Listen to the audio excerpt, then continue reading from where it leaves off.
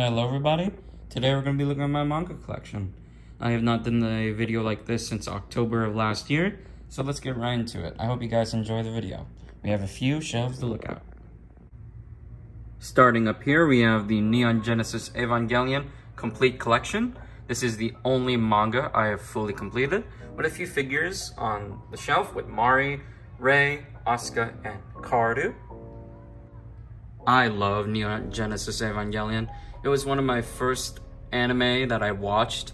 I did get into anime around early uh, 2020, late 2019. When the pandemic happened, I watched The Evangelion and I loved it. I fell felt right in love into it, and it's just such a great series that a lot of people should definitely check out.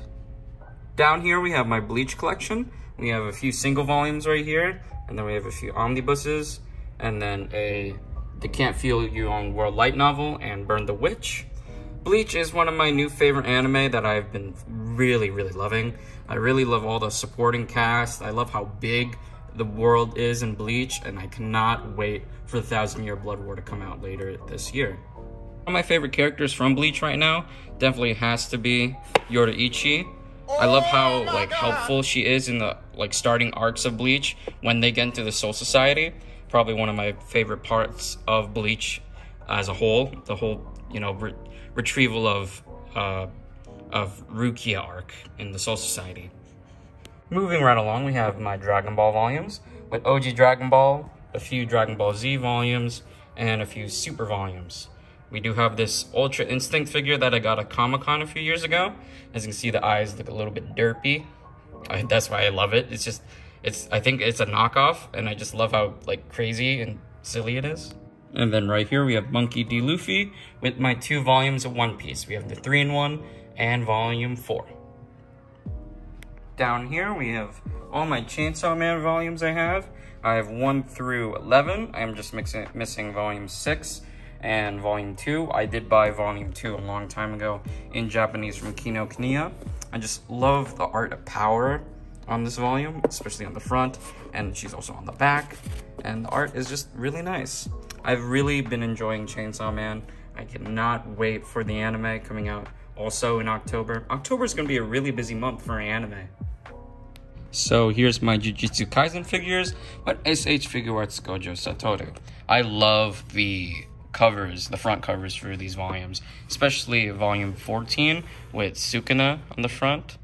Love the art. Then we got my Demon Slayer volumes, Shaman King, my Naruto volumes, my Full Metal, and then some miscellaneous volumes like Kaiju, Kaiju Braid, Spy X Family, my two Death Note, two Bakuman, Hunter Hunter, and just again more miscellaneous volumes. We also have Fire Punch right here, and then uh, Alphonse from Full Metal. Moving down, we have the Evangelion illustrations from 2007 to 2017, and Rohan at the Louvre with a little Rei Funko Pop. Moving to the second shelf, we have a Naruto Shippuden Grandista next to Volume 1 Naruto, a Super Saiyan Goku, and a Ichigo Kurosaki figure, and then the Japanese volumes of Bleach. Down here, it's really hard to tell, but behind there is all my My Hero Academia volumes. Behind uh, Deku and All Might, we have the little promotional pamphlet that they gave us for the World Heroes Mission movie. Come on, focus. And then next to that, we have most of my Attack on Titan volumes. We do have volume 33 and 34. I cannot wait for part 3. That is coming out later, I think January of next year. I can't wait for that. I love this Barnes & Noble exclusive. I like the little mini poster. And yes, I do have that in Japanese as well. Right there. And then this is the little guidebook. This is the Attack on Titan guidebook, the final version of it. I got this also at Kino Kinokuniya sometime around last year. Very, very nice little book. I love the art right here. So, so cute. And yes, I do use Funko Pops for most of the books that are showing. So yeah.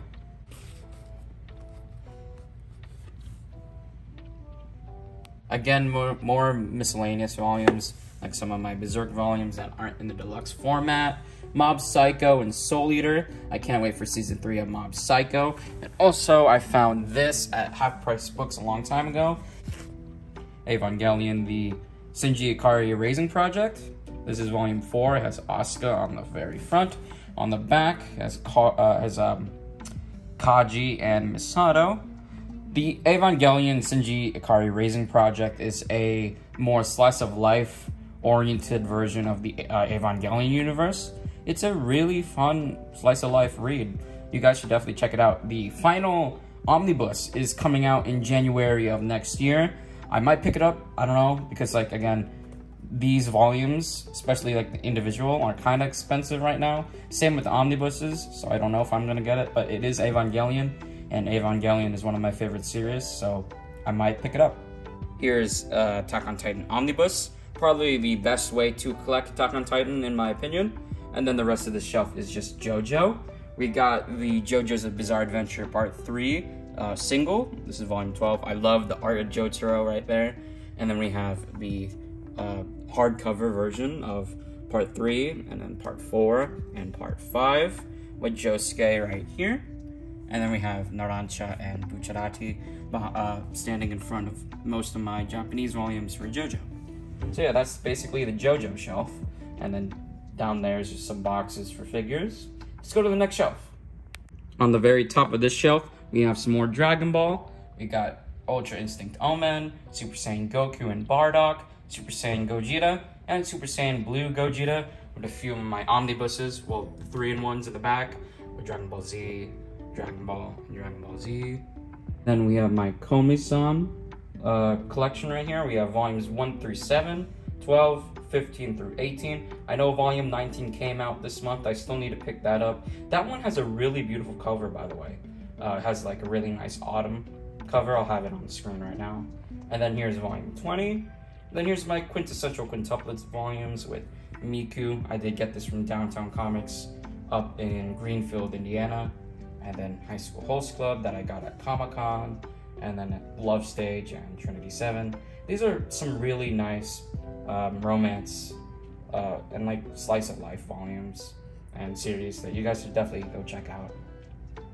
And then below this shelf, we have some more miscellaneous slice of life and romance volumes like Gigant, Oshinoko, Kaguya-sama, Nana, Pretty Face, and then my, my Dress Up Darling volumes.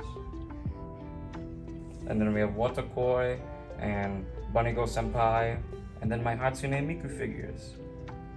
I really, really enjoyed the Dress Up Darling anime. If you guys have not seen that, guys, definitely please go check that out. It's such a adorable, such an adorable um, anime, and that's why I picked up the manga. I know volume six is coming out in August, so definitely be on the lookout for that. Over here we have Super Saiyan 4 Goku and Vegeta with Dragon Ball in full color, and then Genos with uh, my only One Punch Man volume. Down here we have my Yu Yu Hakusho little display with my Funko Pops and the JP volume of volume 10, I think. Really love these Funko Pops. Here's my little corner for my isekai stuff. We have ReZero Volume 1, the Konosuba spin-off, which is getting an anime adaptation soon. Right there. Overlord Volume 1, uh, reincarnated as a slime, and Rem, one of my favorite anime characters. She's just so cute.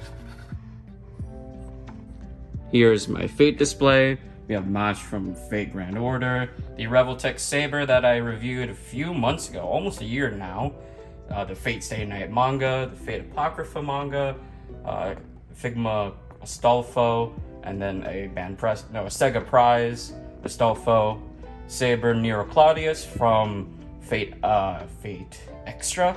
I think that's what it's called. But yeah, this is my little Fate uh, display. Below that is my Gundam display. I still need to build this Gundam Helios.